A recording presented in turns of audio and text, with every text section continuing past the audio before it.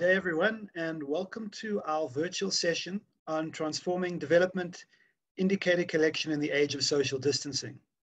I'm Bobby Berkowitz, Analytics Specialist at FinMark Trust. I focus on new analytic tools users can adapt for their needs.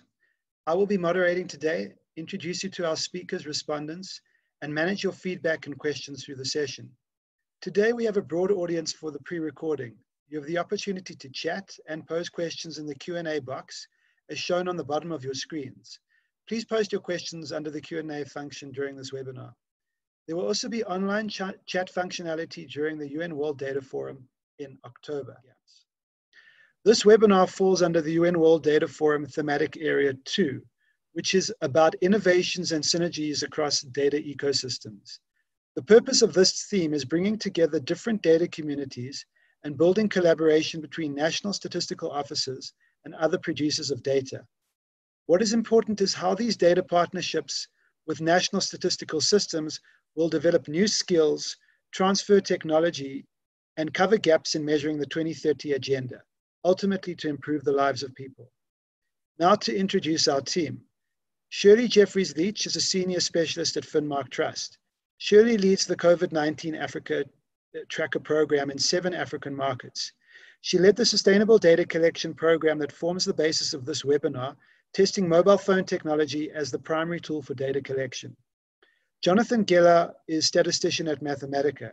He is an expert in causal inference, predictive modeling, and the analysis of survey data. Jonathan has a PhD in biostatistics from the Johns Hopkins Bloomberg School of Public Health. Constance Delanoy is pursuing a PhD in applied mathematics at the University of Colorado Boulder. She pre previously worked at Mathematica as a da data scientist in policy evaluation. We are also fortunate to be joined by directors from both the Kenya National Bureau of Statistics and the Pakistan Bureau of Statistics. Both Matthew Collins Omondi and Rabia Awan are responsible for census and other large-scale benchmark household surveys, as well as sustainable development goal reporting. Tell you about the structure of today's webinar. Shirley is going to start and she's going to take us through how the approach that we take you through makes sustainable development goal, that is SDG indicator collection more accessible. Our application to COVID-19 tracking, our full innovative cost effective approach for normal times, and the underlying technical approach that combines different modes of data collection and what the underlying methodological challenges are. Shirley will then hand over to John, who will briefly take us through the underlying technical approach and implementation of MRP, which stands for multi-level regression and post-stratification. Uh, from there, Constance will show how well our innovative approach combining mobile data collection with limited face-to-face -face data collection works. And this sets, up, sets, us, sets us up well to see why the approach provides a practical, cost-effective solution to SDG and other development indicator reporting. Our representatives from KNBS, which is the Kenya National Bureau of Statistics, and PBS, which is the Pakistan Bureau of Statistics, will then respond. And then we will take your questions. Uh, I now hand over to Shirley. So, as Bobby mentioned, we began our journey of sustainable data collection a few years ago. Um, and it was really our mandate was to collect uh, key performance indicators at a low cost. Traditional, traditional research and development in the development space has focused on long and complex in-person surveys, which are logistically heavy and very expensive to run. We set out to find an alternative, uh, an alternative that allowed for the measurement of specific indicators in a more sustainable way. The challenge was both to explore alternatives to in-person surveys, leveraging technology to reach wide, as wide an audience as possible, and design surveys fit for the mode of data collection and the purpose of tracking indicators. So in essence, taking something that's traditionally been quite complex and detailed and making it simple, straightforward, and sustainable. You can really see that there are still many gaps in the data available on the SDG indicators all of the indicators are, are listed below the sustainable development goal um, that they apply to in this image. And those that are highlighted in, in yellow and red are those where there's not enough information or there's no information available on that indicator. But of course, tracking these indicators is difficult. There's a lot of things to track, and data collection can take significant resources that could be applied elsewhere. A more sustainable approach to indicator tracking is an opportunity, and the method we'll uh, outline can, can be used to unlock more data across the SDGs. Some of the gaps uh, shown on the slide can't be answered with, with demand side surveys.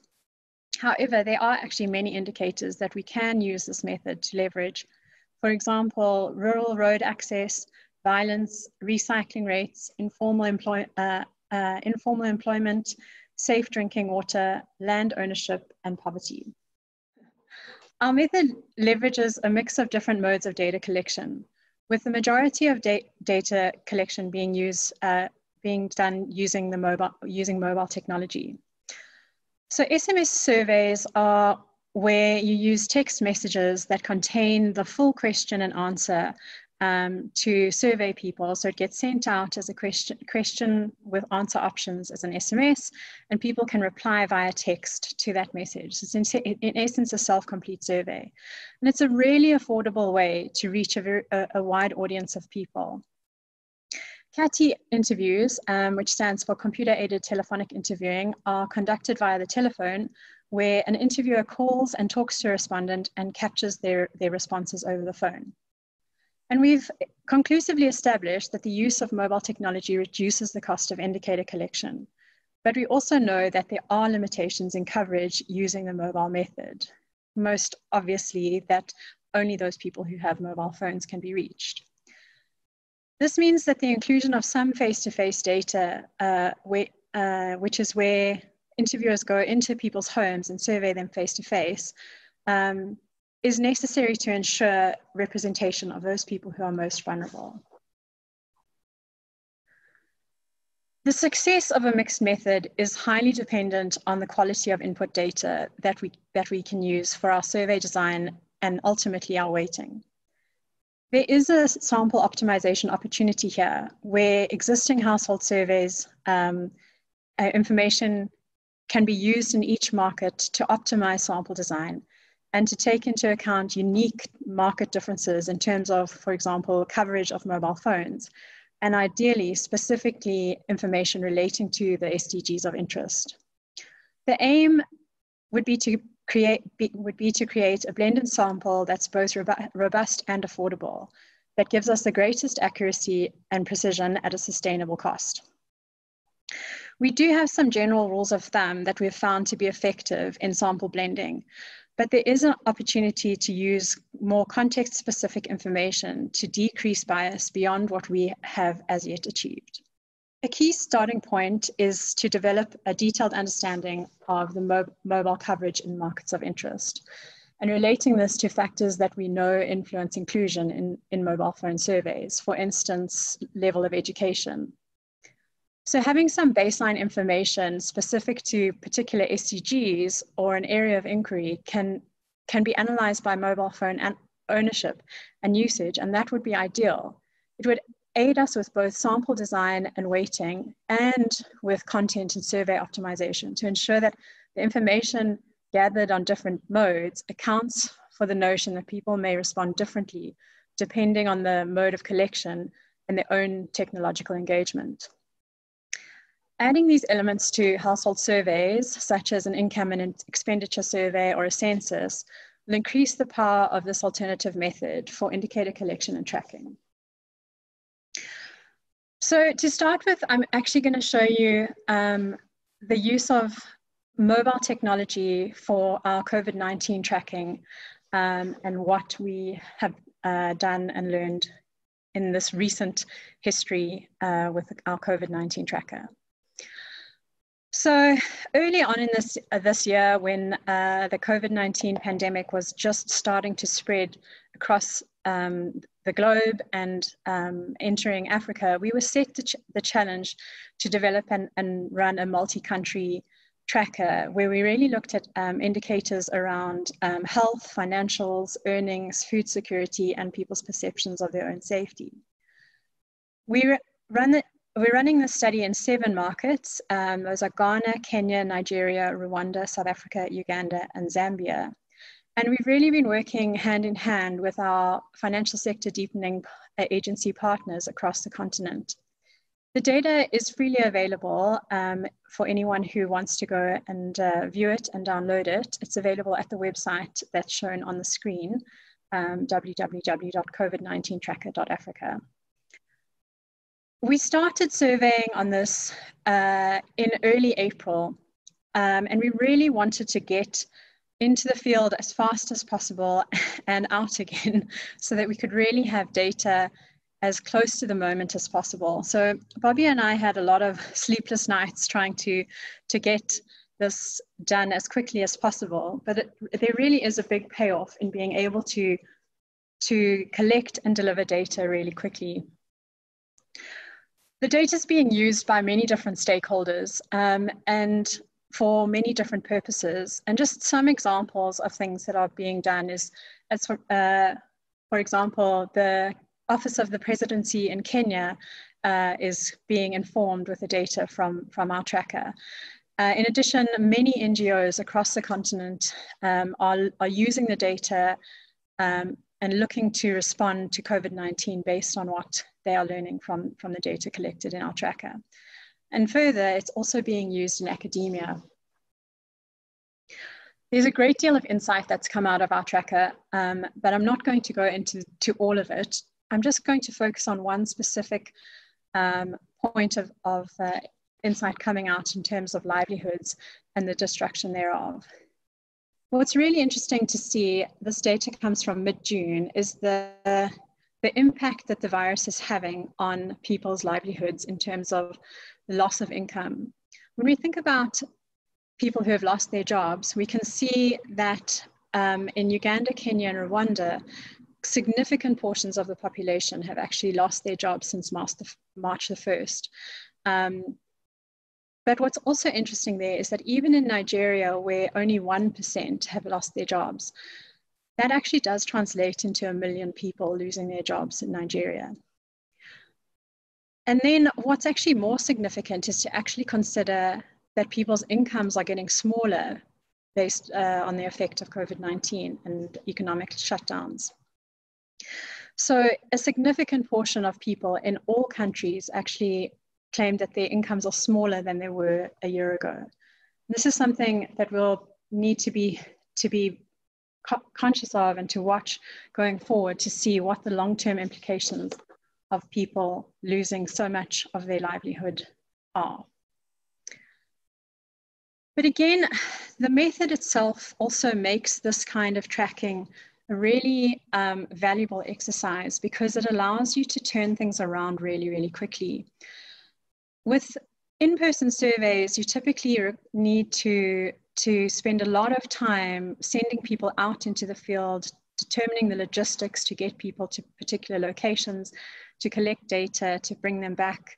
Um, and that takes time and it takes resources. When we use the mobile phone, we can get to people in the moment. And um, that, that meant for us is we could also really understand using a tracking, uh, tracking method how different um, levels of lockdown had an influence on, on people's lives and their livelihoods. So in South Africa, we have been under lockdown for uh, nearly 200 days now. And, but it's been in differing, differing levels of severity. So we started off with what was called level five lockdown, which had very high restrictions and kept us in our homes. Um, we were only allowed to go out if we had uh, a medical emergency or we needed to go and buy food at a grocery store. And then um, we moved to a lower level where some of those restrictions were lifted, and um, now we've currently we're currently in what's called level one, which means that life has mostly gone back to normal. The real restrictions now are on social gatherings, and there's uh, social distancing uh, rules in place where we need to wear masks in public and um, follow things like getting our having our hands sanitized or having our temperatures read before entering particular premises. And as this, the levels of, of restriction changed, we could be there in the field um, surveying people to see how different levels of lockdown actually influenced their lives and their livelihoods. But of course, this has all been in the time of COVID 19. And as I mentioned, we were really looking at using strengths from different mixing methodologies. But in the time of COVID 19, we of course can't use face to face surveys because social distancing meant that we, it was not really responsible to send people into communities who could potentially, during the, the highest peak of the, of the pandemic, actually put them put their own lives in danger and then also potentially spread the, the disease into the communities where we were surveying. So we couldn't use a face-to-face uh, sample. Um, and because we couldn't use a face-to-face sample, we actually opted to go with telephonic interviewing as our, um, as our source. The reason we didn't go with SMS, um, although it would have been very nice to, to have SMS because it's so affordable, we would have been able to survey more people than we have with our um, telephonic method, which is slightly more expensive. Um, but the limitation of not being not being able to reach those people who don't have mobile phones is actually exacerbated further with the SMS survey because you again you can't reach those people who are not literate enough to actually participate in a self-complete survey. Of course, that being said, the information that we've gathered in the piloting and work that we've been doing on our sustainable data collection program has actually taught us a lot about who we actually do reach uh, in using the different method, methods or modes of data collection. And um, looking at the data on the screen now, what you can see is that um, we used a poverty measurement and the, the figures showing are those people who claim to be living below the poverty line. And what you can see here is that although in some markets we underread, generally we're actually getting quite a, a large portion of people who actually are in that um, lower uh, tier of society where they are living below the poverty line. And then if we actually go into a more detailed look just specifically in Nigeria and think about particular cohorts that would be of interest to us, for example, women and people living in rural areas, as we know these people are most vulnerable. This really demonstrates where the CATI uh, mode uh, is, a, is a good option in that when we compare it to the face-to-face sample, we really, with women and people in rural areas, we get a very similar, or in fact, the same uh, proportion of our sample who are uh, in those area, uh, in those cohorts. And then what's really critical here is looking at the low literacy figures, and this is really why going with a CATI option we felt was a better option for the COVID-19 tracker than SMS. And that's because people's self uh, self claim on low literacy is significantly a higher portion of people in our telephonic interview are those people who claim they don't have very good levels of literacy. Um, I'm sure it's unsurprising that in the SMS that is not the case. So what did that actually mean for the results that we got?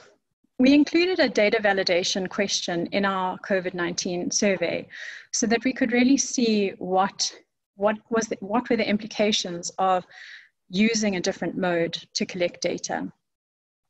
And what you're looking at on the screen now is uh, the dark blue bars are the Financial Sector Deepening Agency's estimates from 2018 on those people who have a registered bank or mobile money account. And then the light blue bar is the COVID-19 trackers estimate of, the, of that figure. And if we start by looking at Kenya, the, well, some of the, the, the, difference could actually be explained by the, the difference in time because uh, the FSD estimates are from 2018 and our trackers from 2020. But when you see the size of the gaps, you can say that I think not everything is explained by a time lapse. In Kenya, you can see that we have a 10% gap between the FSD uh, official estimate and the, um, our credible interval on the COVID-19 tracker. And that may be a time lapse difference. But when we start to look at Nigeria and Uganda, we start to see that gap grows. In Nigeria, the gap is 18%, and in Uganda, the gap is 38%. But what's important to understand here is the context of each market in terms of mobile phone penetration. Because although estimates for mobile phone penetration are very hard to come by in terms of what's actually accurate, and there are many different sources with many different numbers, the mo most sources um, state that in Kenya, mobile phone subscription is at 80% of the population or more. Whereas in Nigeria, these figures can vary between about 50% of the population and 80% of the population have access to and use a mobile phone. And in Uganda, the estimates are typically between 40 and 50%. So what this really means is that the, the more mobile phones there are in a market, the better the, the mobile only approach would be. But of course, there is more to this methodological challenge. And we really, um, for normal times that are not COVID times, we, we have come to a really pleasing solution that we are quite happy to share with you today. So there's different modes of data collection, and I've spoken briefly to some of them. Um, in, um, but and based on that, you may be tempted to say that in-person face-to-face surveys are better than other methods. But there's actually, that's not as simple as that. There are differences and each have their own strengths and, and weaknesses. So as an example, when you use a self-complete survey, you remove an interviewer effect. And if we wanted to do something like indicator tracking on um, gender-based violence, removing an interviewer from your survey could actually give you a lot better a result or more honest result from, from the, the participant. But we do know that in-person surveys can be more, more complex. They can have more uh, detail in the surveys. The questionnaires can be lengthy and give us, paint a, a really detailed picture of people's lives for us. And the sampling is, is really robust and we really do get to, we are able to reach everyone in society. But on the other end of the spectrum, SMS surveys have a significantly reduced cost. So we have access to more data. We can collect data on more things uh, if we aren't having to lay out such a big investment. And then with SMS surveys and to an extent uh, CATI surveys, there is an element of simplicity there that may be seen as a weakness by some, but I would actually argue as a, a key strength of these, of these mobile methods of data collection because they really force us to be very targeted and specific in how we survey people. The questions that we ask need to be brief to the point and we need to make, they need to be very clear and easy for people to understand which ultimately should be give it, giving us better data from people as they fully understand what we're asking and they also um, don't get tired from a very long survey. So we took quite a few steps to get to the method that we're um, at, now. And um, I'll talk you through them quite briefly. Um, we started off with some pre-pilots where we really wanted to test the capabilities of the mobile method. We wanted to know what could we ask on an SMS survey? What level of um, uh, information can we actually get from something that is simplified? Um, but then in addition to that, what did the sample look like? What would it mean for the precision of our estimates to be going to a mobile phone sample? and who would we actually be, be picking up. And we were quite happy with the results that we got from our pre-pilots. In terms of, of survey design, the, the instrument itself, the questionnaires that we can ask, we were quite pleased with how much you can actually do with the limited um, technology. And in terms of the sample itself, we did also pick up those people who are um, more marginalized or vulnerable in society. So we knew that they were there in the data, but they weren't represented in full and we they were there in smaller numbers than what we would ideally want them to be. So going forward, we decided to do a mixed methodology to leverage the best of of face-to-face and the best of the mobile technologies that we could so that we could really develop a sustainable mixed method approach. And we did things in our mixed method pilots to really give us the best possible results. For example, we conducted cognitive interviewing on the survey before we went into field to make sure that it really was a true reflection of the people's lives um, that we were recording.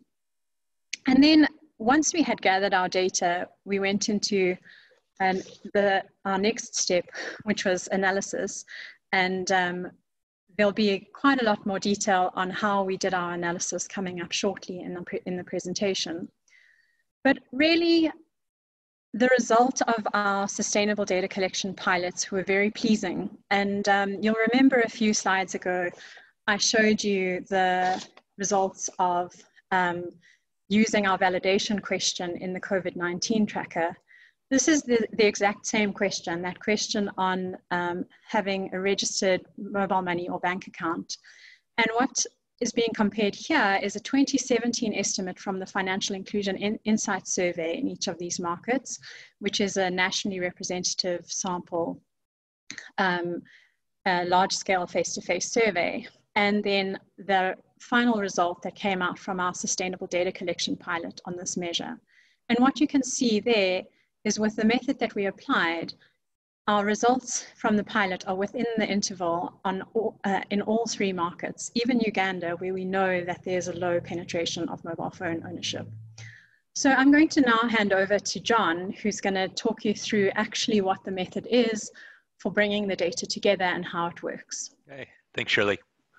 Um, so as a reminder, uh, the statistical challenge that we're trying to solve here is how to get valid estimates of indicators for the full population when our data systematically underrepresents certain demographics certain demographic groups. Um, so this is, of course, not a new problem. Uh, the traditional way this is handled, uh, this issue is handled, is to design a survey so that you know the probability that each person uh, who participates in the model uh, in the survey would be selected. Uh, so this is known as design-based inference. Um, but design-based inference doesn't apply to our situation. It's really for two reasons. One, we don't have the design information for the sample. Uh, we can kind of think of uh, our SMS surveys as a convenient sample, uh, and we are and the people that respond are are, um, are those those that end up participating in the study. And the second reason is even if we did have this design information, we expect such high rates of non-response, non-response that we could pretty much uh, throw that design information out the window because uh, uh, with such high response rates, um, the um, that design information isn't going to be very helpful. So instead, we need some sort of a model-based adjustment. Um, there are a number of model-based approaches that have been developed. Um, uh, here we list just three of them, um, but the essential idea behind all of these model-based approaches is that they use observed differences between the sampled population and the target population or the national population to adjust uh, estimates. So observe difference on different covariates, like difference in their age, gender, education level, etc. So uh, just briefly, some of the common approaches that exist in the literature are, are one is uh, inverse probability weighting or matching. Um, and here uh, you are trying to essentially use propensity score methods to replicate those design-based uh, probabilities, trying to, to estimate those design probabilities the best you can through a propensity score uh, type model, uh, and you can either use weighting or, or matching approaches there. This is sometimes known as quasi-randomization, uh, where you get these uh, uh, these prob these uh, sort of pseudo design weights. the second method is iterative proportional fitting, um, which is more commonly known as raking. And here, uh, it's also a weighting based approach. You're trying to find these weights where uh, if you take these weights, the they're the weights that if you uh, if you take weighted averages of the demographics in your sample, they will match the target population. So find the best possible weights that allow that to, to happen at the margins. So what that means is that uh, is that if you take a weighted average of the percent of your population that's 35, uh, 35 to 45 years old, it matches that rate in the target population. You take the weighted average of the people that, that completed high school, that matches the target population. Um, the third method that we highlight here is uh, model-based post-stratification most model-based post-stratification, um, more specifically multi-level regression with post-stratification or MRP. Uh, so here, uh, the idea is that we're going to fit a Bayesian regression model to estimate the relationship between respondent characteristics and outcomes, and then we're going to use that model to predict the outcomes for the target population. Uh, next slide.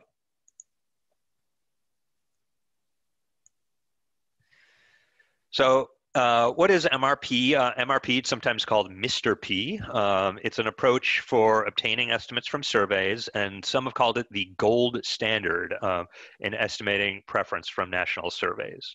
Uh, the approach has a pretty long history. It dates back to the 1960s, where uh, where it was used by Poole, Abelson, and Popkin to try to predict the winner of the U.S. presidential election. I think the 1964 U.S. presidential election.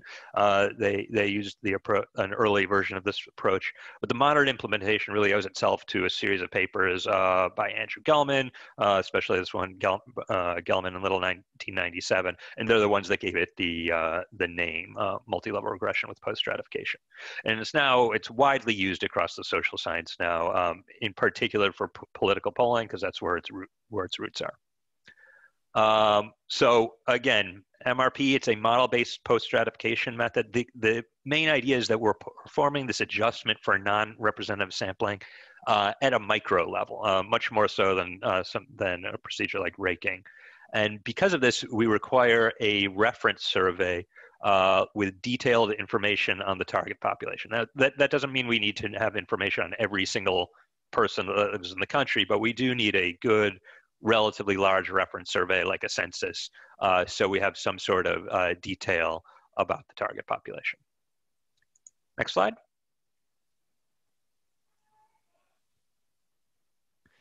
So MRP can be boiled down into a three-step process. Uh, first, we divide the population into what we call cells, and these are uh, different groups that are defined by uh, whatever what we think are the important demographic characteristics that we are associate that are associated with outcomes. Uh, the, we then fit what's called a multi-level regression model to estimate the outcome in each cell. Uh, if you're not familiar with this term, multi-level regression model, uh, these are models that are set up uh, uh, so that the information from smaller groups, so some, some of these smaller cells, can inform uh, the uh, I'm sorry, so that the information from smaller cells can be informed in part from the information from the larger cells where there's where we have a larger sample. So this this is called borrowing of strength. So we borrow the small the, the cells where we don't have a lot of information borrow strength from similar cells that we do have more information from. And the last step um, of the procedure is called post stratification, where we use information about the target population, about who makes up the, pop, the target population, and we take this weighted average of the cell-specific estimates to get our final estimate for the entire population. Uh, so let's go through a quick example uh, to try to understand how this works. Um, let's suppose that uh, we are interested in knowing uh, this indicator, do you use uh, the, port we want to know the proportion of the population that uses mobile banking in a particular country. So the first step is to create these cells. Um, in this case, we're going to, in this simple example, we're just going to be using two demographic variables, gender and uh, urbanicity to define uh, the cells. And that gives us four cells, which is the cross between these two binary uh, variables.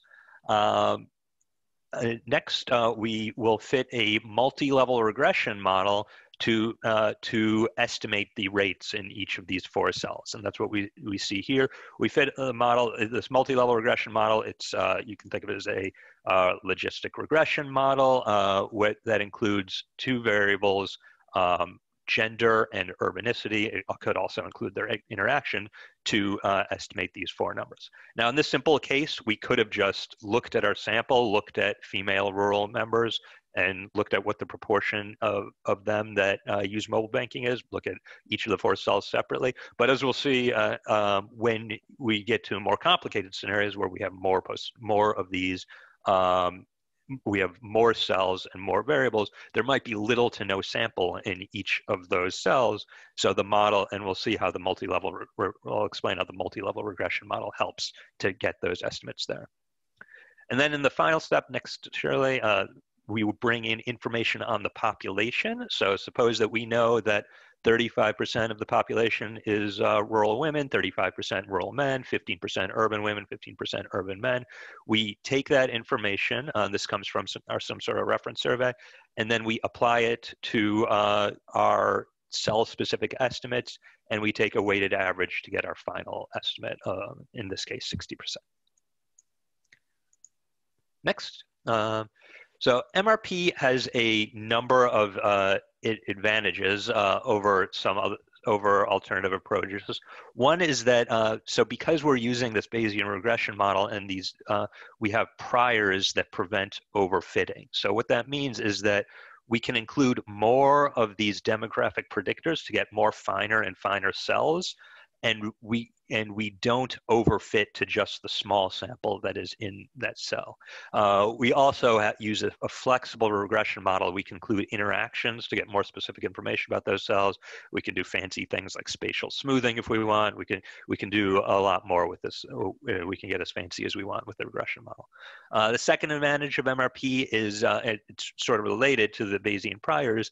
Uh, they they allow us to borrow strength across similar cells. So that if there's cells where we have no information on or we have very few observations there, those uh, estimates are informed in part by this by similar cells that share some of the same demographic features, um, but not but not all of them. And so it borrows strength across them. That gives more stable estimates. So that, for example, if there's just one observation that uh, the estimate for that cell is not either 100% or 0%, it, uh, it stabilizes and gives more reasonable estimates for, uh, for those. It also um, is an efficient method where uh, we end up decreasing variance uh, through this approach. Third advantage is that it's easy to quantify uncertainty uh, in these models. Bayesian regression models are known to propagate uncertainty uh, very well, so it's easy to get estimates of uncertainty uh, for our for uh, at whatever uh, level we want, whether the national or subnational levels. It's easy to quantify that uncertainty, and importantly, that uncertainty takes into account this adjustment for representativeness. And uh, actually, methods like raking don't quite do that because uh, it's a two-step procedure. You generate the weights, and then you uh, gener- get your estimates based on those weights. And raking assumes that those weights are fixed uh, from from that first step. Whereas in MRP, it's a one-step process, and the uncertainty propagates all the way through. And then the last advantage of MRP that we list here is that uh, it ends up giving much better performance, especially in subgroups. Uh, so the performance on the full population is relatively comparable to raking. Um, sometimes some have shown that's slightly better than raking, but it's really comparable uh, or on the same on the same level. But uh, but uh, it gives much better performance when you're looking at sub subgroups, like what is the rate uh, among men or or among poor poor women, for example. Next. Um, so in order to sense, get a sense of how effective MRP is in adjusting for biases in, S, in specifically in the SMS data, we looked at some indicators uh, where we already had a recent gold standard estimates. So Shirley showed some of these before. Uh, these are estimates based on large face-to-face -face surveys. And uh, what we found is that in some cases, when we applied MRP, that approach was not we were not able to replicate the previously known gold standard estimates. So in other words, uh, MRP, so we're producing some, uh, was producing biased estimates. Uh, the estimates tended to be a little less biased than, than the raked estimates and some other, or other approaches that we looked at, uh, but they still weren't close enough for us to, for to, us to consider them to be reliable. So our solution, um, and Shirley uh, talked about this, was to uh, bring in some face-to-face data and try to get sort of a best of both worlds approach. And the way it works is that we use this face-to-face data to calibrate our estimates. And at a high level, um, uh, what we have is the SMS data is used to really understand which of these cells have higher versus lower rates of the outcomes. Um, and then the face-to-face data is used to adjust uh, the level to each cell. Uh, I should mention, uh, so why, so why was it that standard MRP wasn't working? Um, there were two reasons uh, that the standard MRP wasn't working. So it, it makes a couple of assumptions. Those assumptions being that there were no unobserved confounders and no survey mode effects. Uh, and these are particularly problematic for SMS surveys. Um, Shirley already talked about, uh, uh, sorry if you could go back, uh, talked about with SMS surveys. For one, you need access to mobile phones, you need to be literate. And while we can control, uh, in some sense, for literacy, if there are people, if there are uh, you know, with mobile phone access, everybody who responds to an SMS survey has some sort of mobile phone access. So you can imagine uh, people with this that are otherwise similar, uh, same age, education level, et cetera, but one person does have access to mobile phones, other person doesn't, they might respond differently, especially if we're asking questions about something like digital financial inclusion, which is highly related to cell phone ownership and the other is survey no survey mode effects and uh, these are particularly problematic for sms surveys because uh, be, because the, there's no person that the person can that uh, it, that the respondent is speaking to on the other end of the phone. So that makes it very different from either a face-to-face or a CATI situation because you can't ask clarifying questions. There's nobody there to make sure that the person is engaged in uh, giving truthful answers to the survey, etc. Um, Okay, so next, next slide. So I'm going to take you through an example of how this calibrated uh, MRP approach works, uh, where we combine SMS and face-to-face -face data. Uh, the first step is to combine the two data sets into one. So here's, here's an example where we have these two data sets. We have an SMS data set and a smaller face-to-face -face data, set, data set. So in the first step, we stack the two data sets together. So you can hit next, Shirley uh, where the two data sets are combined into a single data set. And so now we have uh, these four cells. We have uh, we have information about all of them, uh, all of the people, whether they're uh, what their gender or urbanicity is, but we also know what their uh, survey collection mode is. And then we fit a multi-level regression model where we take into account the survey mode. so so it's not just going to include the two variables, gender and urban, urban rural, it's also going to include survey mode as a predictor in, in this model.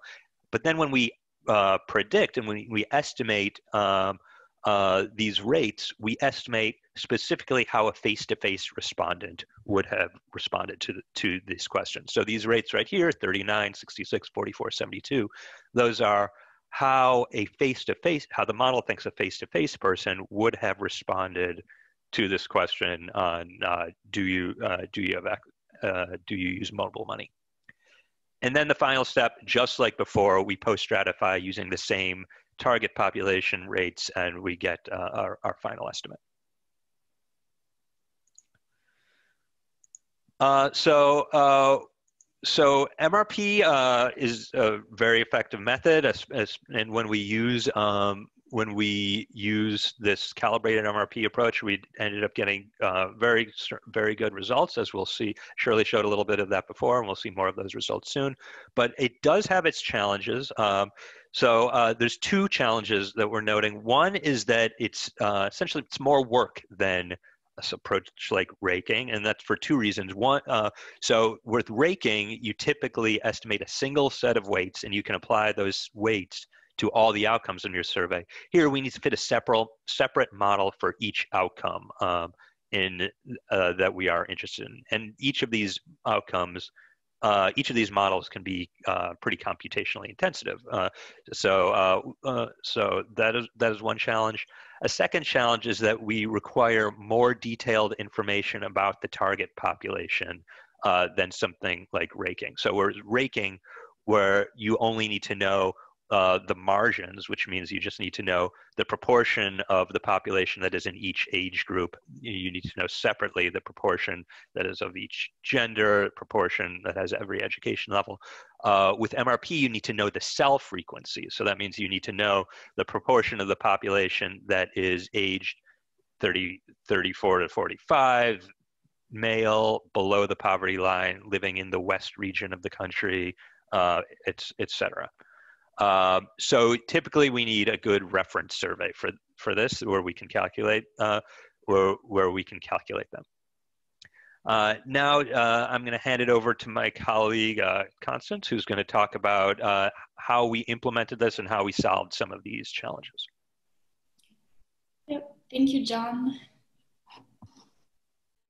Um, so as John mentioned, the models that we were running were quite comput computationally intensive. Um, so we've had to design a new new workflow for us to make this possible to even run them. Um, so our problem was that we had several models to run for each different type of indicators that we wanted to um, to model. And so in the end, we had about 80 models, uh, sometimes even more, and several iterations of each of those um, to run. And some of them would take more than an hour to run on our computers. Um, and in addition to this, because it's a Bayesian frameworks that relies on Markov chains, they're quite intensive um, as far as computing resources go. And so we found that it was quite difficult to run them on our own laptops while you know doing other work. Um, so the solution that we found is that we moved all of our computing to the cloud and we did so in a way that was distributed um, and so more specifically we used amazon web services aws um, with SageMaker. So those are cloud clients. Um, and together, these two services allowed us to distribute all of our computing jobs across different servers that we didn't own. Um, so it was quite nice to have to, to be able to use different computers and have access to as many as we wanted um, for relatively cheap. And so our framework was that each of the machines or computers that we had access to would run jobs in parallel. So each machine would run a single model on four cores because that's what's required uh, by the, the Bayesian framework that we used. And then because we had access to machines that had more cores um, than our own computers, we could run multiple models on each of these machines. And then in addition to that, we also parallelized across machines. So, um, so that for instance, we would run all of the models for one country on a server, and then that server would run jobs in parallel. And so this whole framework allowed us to reduce our computing time from a week long, like seven or eight days, to less than a day. Um, like some of them even run in like a few hours, which is great. Um, and someone, something else that I want to mention is that this uh, computing time is a function of the model framework that we used, um, but it's also a function of our um, data size. So with smaller data sets, usually the, these models run much faster, but because of the size of the data we had, it took more time. Um, so just want to throw this in there in case you want to use it with your own data. Uh, next slide, please. And so one of the core things we are also interested in was subgroups. Um, so these results that I just showed were overall the respondents, but we were also very interested in looking at poor rural women in particular and some other subgroups as well. And so this here shows results for subgroups, for this subgroup of poor rural women in Uganda. And so we have on the left, the leftmost bar is once again our benchmark using only face-to-face data. And then we used a raked face-to-face um, in the middle just to compare how our calibrated MRP on the rightmost would do. And here we see that it's actually performing better than the raked face-to-face data. Um, and which shows that the strength of our method really lies in these subgroup analysis that we're able to do and that even if we have small sample sizes, we can still um, perform, you know, get quite accurate results. And the bars, the black bars um, with the dots in each of those are the credible intervals. And now I will turn it back to Bobby and Shirley. Thanks so much, Constance, and thanks so much, uh, John and Shirley. So um, we're we're sort of getting to the summary again, and, and I think this um, overall picture that the presenters have shown is is is the the background to our point about how this approach is an effective way for illustrating um, our goal of making sustainable development goal indicator collection sustainable. So we have taken you through a practical cost-effective solution to reporting on SDG and other indicators. This can help you to get data quickly and cheaply in normal times and to collect rapid response surveys in unusual times such as 2020's COVID-19 pandemic. This practical cost-effective approach enables us to provide accurate indicator reporting reducing the bias of estimates, including in subgroups of interest. We have four key messages that we've taken you through today. The first is that good population estimates are critical. Recent powerful reference data is critical to, to the work, and this means that the large data sets of national statistical offices are so important. The second message is that modeling shows that the addition of just a small number of an appropriate face-to-face -face sample makes a big difference. Uh, our third message is that um, we've already identified examples of SDG indicator gaps that our calibrated MRP can bridge. This includes rural road access, violence, recycling rates, informal employment, safe drinking water, land ownership, and poverty, uh, amongst many that, that are appropriate to, to surveys. Uh, our final message is that data partnerships with national statistical systems are going to amplify the importance of national statistical offices and identify how they will guide priority research going forward.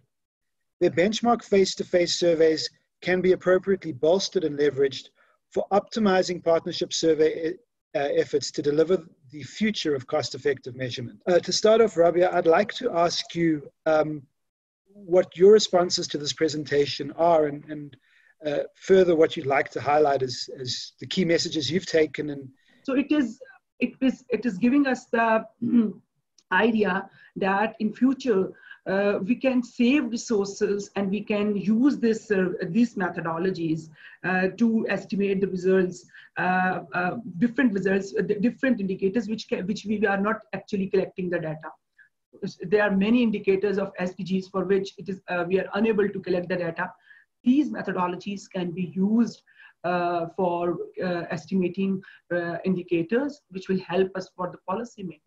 It's a wonderful idea, and uh, the key message is that we have to move move now uh, instead of uh, conducting survey for each and every indicator. We can use these methodologies. Um, Matthew Collins on Monday, and also just to ask him also what his responses to this presentation is, and, and if he'd like to highlight anything as key messages and, and, and areas for further information he might be interested in. Um, over to you, uh, Matthew. Yeah, thank you, Bobby, and thank you, Tim. For me, first and foremost, it is an amazing, amazing, uh, amazing analytical tool because uh, when you look at uh, the, the, findings, uh, it shows that uh, indeed statistics can be cheaper when you start using some of these tools. So to us, it's uh, we were more of like learning in terms of the new tool.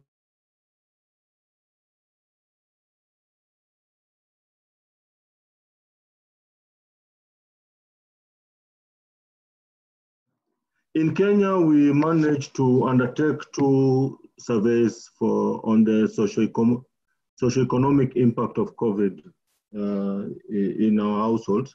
And uh, basically, these surveys, uh, these surveys were done in the month of May and the month of June. We've not been able to undertake one in July, August, and September, uh, but uh, we hope that we'll be able to undertake one. But the key message in terms of this survey, we are just looking at the impact of COVID you know, in our household in terms of the jobs, uh, the number of job loss, the issues of food security, the, the issues of transport, the issues of health and education. So basically, those are the areas that we are focusing in those. What kind of research do you think needs to be done to get a better sense of the appropriate mix of the, the cheaper data collection mode and, face-to-face um, and specific potentially to each sustainable development goal theme? Yeah, it's a good question. Uh, we have done uh, some of this work to try to understand what the optimal balance is between, uh, S, for example, SMS and face-to-face to try to get the best results. Um, uh, more work needs to be done. Specifically, uh, I think we need more simulations to try to understand under what what scenarios uh, these approaches work. We we have a lot of we have a good amount of real data that's collected uh, from SM, from S, SMS uh, data and face-to-face data that we can base these simulations on. But I think good simulation studies where uh, we understand well what this is the true rate. This is the, this is these are different scenarios that are realistic, um, realistic sampling uh, design designs. Uh, to try and bringing in the cost information. For example, this this design we could do with this amount of SMS data, this amount of face-to-face data for this cost, uh, specifically in these markets uh, uh, or in in these uh, areas of the country. For example, uh, I think um, that uh, we, we still have a little ways to go before we have a full sense of of what these trade-offs are. Starting with uh, Rabia, could you tell me about the key national household data sets that external researchers and other organizations have been using? Okay, uh, thank you. Um, I just want to um, take one point from John, what John, Jonathan said, that for the simulations, you need a data, of course, a good reference database also. So uh, National Statistical Office, Pakistan Bureau of Statistics is uh, collecting data on household data uh, on one of the survey, which is called Pakistan Social and Living Standard Measurement Survey. It's the biggest survey at the district level, and it's used by all the international organizations like WFOE, World Bank, and it is used, it is the main uh, survey also for the monitoring of the SDG indicators. It is collecting data from 195,000 households all over Pakistan. And it is also used for calculation of multidimensional poverty index.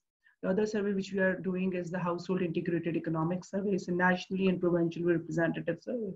It gives you a good information about the income and consumption along with other socio-economic, socio-demographic characteristics.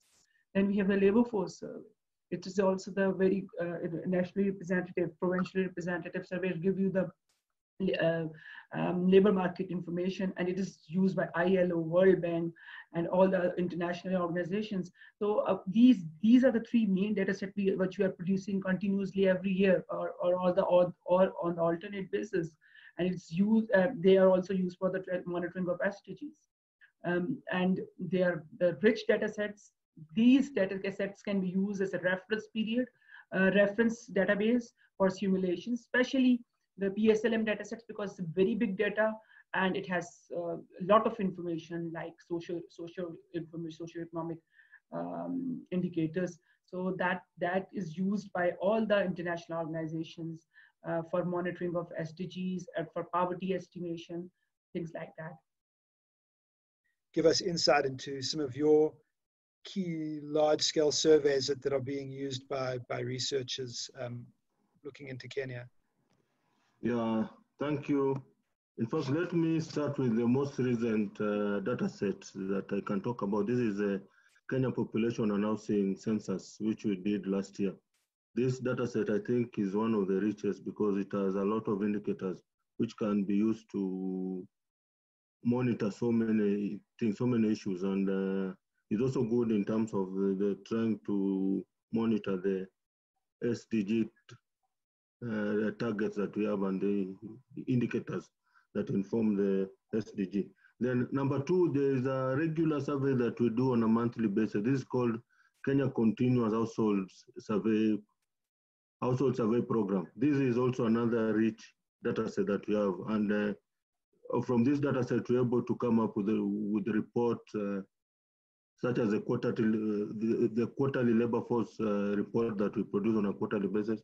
We also do our poverty indicators in this same same same survey that we do. And also when you look at it, then uh, the issues of uh, consumption patterns, which are also key for the national accounts user.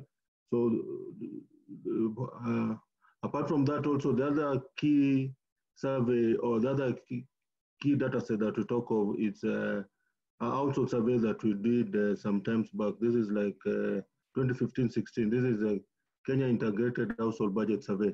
This was more of also a key data set and it was rich in terms of the some of the indicators that it managed to collect. Uh, and uh, a question or experience to sort of ask from you, and um, you'd gone on about the uh, computational intensity uh, and and the challenge and, and how you'd got around it. Um, now I, I understand your setup work is being recognized and appreciated by uh, ac academics working in the MRP field who know all about these processing power and time issues. Um, are there any particular parts or even just one thing that you're um, specifically proud about in terms of sorting out and discovering for your own workflow?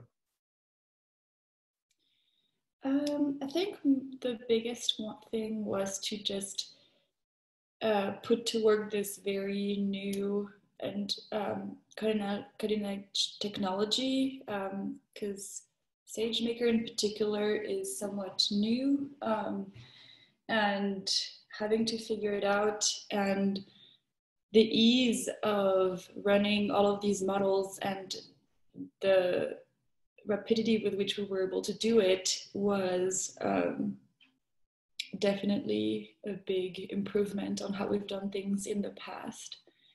And so, yeah, I would say leveraging all of this cloud technology was quite uh, novel, and we've shown that it works. It works really well, especially for these high intensive uh, computing requirements. And I'll add to that uh, another thing that really helped was writing code that was uh, very streamlined. So, uh, so you can say, you know, I, I want to know uh, the estimates for this indicator, so fit the fit the model with this variable and and and base in these you know these variables that we're adjusting for and, and let it run. That was especially helpful with the COVID tracker where we were trying to, where we have been turning around uh, results at a pretty high rate across a number of countries for, for, for a bunch of uh, indicators um, repeatedly. Um, so to start with you, Shirley, um, thinking about the future of research, what do you think are the big lessons from this research for future research for both normal times and pandemic times? Thanks, Bobby. Um, sure. so I think for me, the big learnings here are that we really can use technology um, to to collect more data, um, but we have to be very clever about it, and we have to be very um, thoughtful in how we do that. So I think in COVID times, I think in a time like this, being able to use mobile phones to contact people is really useful.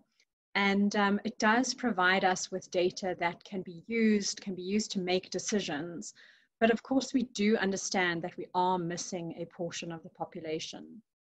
But going forward, I think it's really important to be monitoring and understanding what the, the penetration of this particular technology is in a particular market. Because as we can see in Kenya, where we know that um, mobile phone usage is actually very prolific, we get very, very good results from even a mobile only uh, method.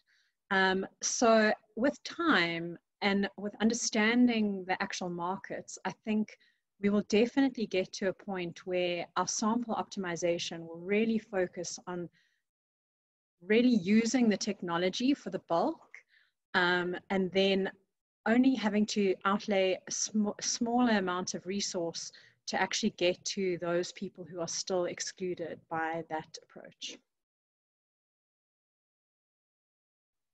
Um, thanks very much. I mean, uh, in terms of a final opportunity for, for Matthew, do you, do you have any thoughts, um, I suppose, based on this presentation and your, your recent experiences this year through the, the COVID um, pandemic in terms of the, the sort of where the future of research and, and changes that you are excited about or interested in happening? Thank, thank you, Bobby. I think one of the key things that, uh, one of the key lessons that we learned through the COVID is uh, that we need to embrace alternative uh, methods in terms of data collection.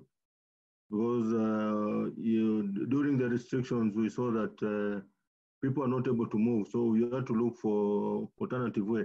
And it has proved that uh, use of these alternative ways of data collection, like the use of telephone interviews, will be a, an alternative to, to be able to collect data. Then uh, the other key thing that I think is also important is we need to build capacity in terms of trying to, to use these new analytical tools that are in place now so that we're able to at least uh, equip countries or the statistical institutions with better ways of analysis or better ways in terms of doing, uh, in, in, in terms of reducing on uh, the cost of data collection and also the time that it takes to be able to collect and analyze that data.